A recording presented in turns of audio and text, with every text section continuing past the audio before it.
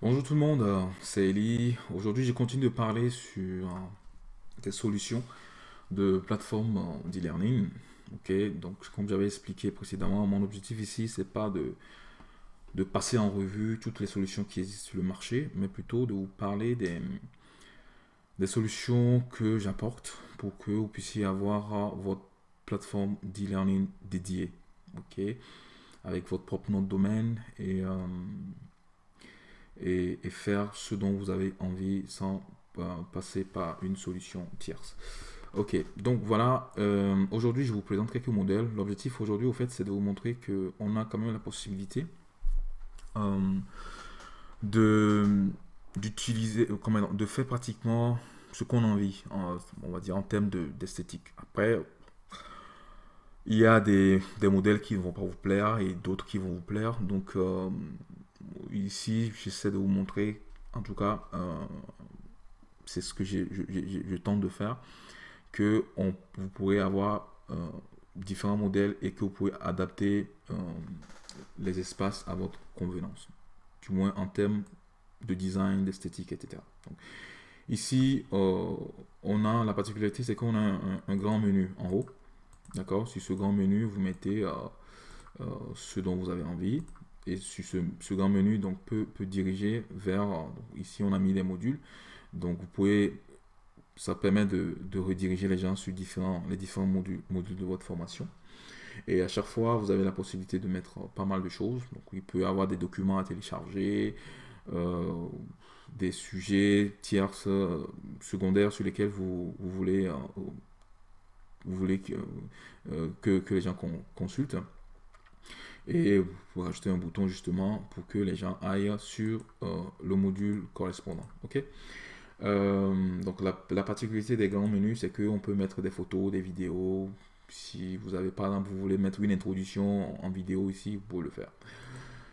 Euh, à part ça, les cours, les leçons en, en elles-mêmes, donc c'est sous slide. D'accord? Ils cliquent sur le slide correspondant et ils vont là où ils veulent. Donc ça c'est ça c'est le principe ici. Autre chose, si vous voulez rajouter des documents spécifiques à chaque cours, euh, à chaque leçon euh, qu'ils doivent télécharger, vous pouvez, le faire. Donc en dessous aussi, comme vous avez vu, vous pouvez rajouter des choses selon ce que vous faites, selon vos, selon vos, euh, ce que vous proposez. vous pouvez rajouter des, des, informations complémentaires, etc. Donc voilà, c'est ça c'est un modèle.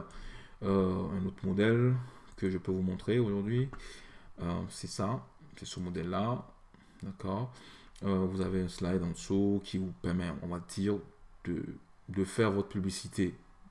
Supposons que vous avez d'autres formations qui pourraient intéresser les gens, vous pouvez les mettre là sous forme de publicité pour que, ok, ok, après avoir fini cette formation sur laquelle je suis, je peux prendre une autre formation, etc. Donc ça, c'est, vous pouvez faire ça aussi euh, ou donner des informations utiles. C'est vous qui voyez, vous faites comme vous avez envie. Donc ça c'est un modèle. Euh, chaque fois que les modèles, au fait, on n'a pas. Bon, tout à l'heure vous avez euh, vous avez vu une antenne une en-tête. Ici, bon, il n'y a pas d'en-tête. On peut on peut rajouter l'en-tête où on veut avec nos logos. On personnalise. Ok? ici, je vous montre l'objectif. Au fait, c'est de vous montrer un peu plus les, les fonctionnalités. donc du coup, on a les modules différents modules. On clique dessus et chaque fois qu'on clique sur, sur, un bouton, il va me ramener sur la page correspondante. Et sur chaque page, en fait, après on a les leçons. Les leçons, on les avait là. Ok, leçon 1 et pareil, vous pouvez rajouter des choses. Si vous voulez télécharger des documents, vous pouvez. Euh, ainsi de suite. D'accord, leçon 2, leçon 3, euh, leçon 4. Donc chaque fois, c'est le même principe. Euh, vous pouvez rajouter des photos s'il y en a besoin, des, des choses à, télécharger, comme je dis, aussi s'il y en a besoin. Ok, donc ça, c'est un autre modèle. D'accord? On va passer sur un autre modèle. Donc vous voyez, entre les deux, voilà, il y a quand même, il y a quand même différence. Euh, une autre, un autre modèle euh, qui est on va dire c'est juste une variante de la précédente, parce que vous voyez, il y a quand même une ressemblance. Euh, ici, on a ce qu'on appelle un menu accordéon. mais ici, on a plutôt un, slide. Et on a un menu en haut, d'accord, pour faire défiler, pour faire défiler les cours. Et, le, les mêmes boutons pour passer d'un module à l'autre. Ça veut dire que dans un module, si on a plusieurs leçons, donc chaque fois, on aura le bouton, on arrive sur la page du module et il y aura pas mal de leçons. Après, on peut rajouter pas, on peut rajouter beaucoup de choses sur la page.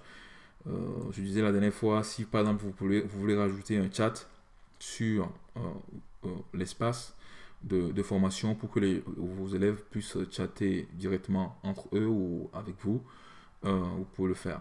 Donc voilà, en revanche, ça va être un, chat public, ça ne, sera pas privé. C'est-à-dire que n'importe qui pourra lire les messages qui sont dans le chat.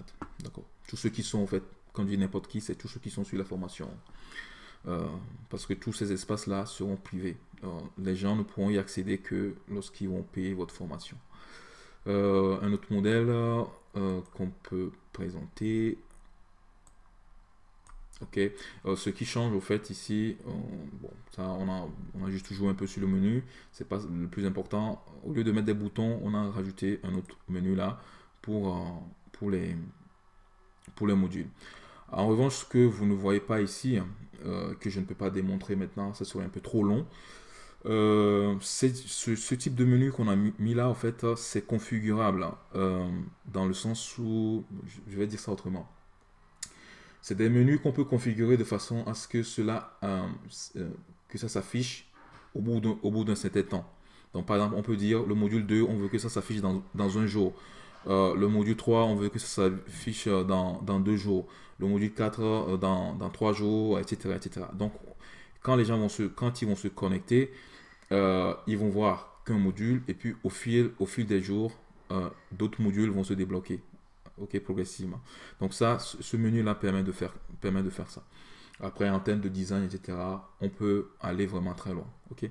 là, on l'a mis tout simplement, on a juste rajouté le, menu.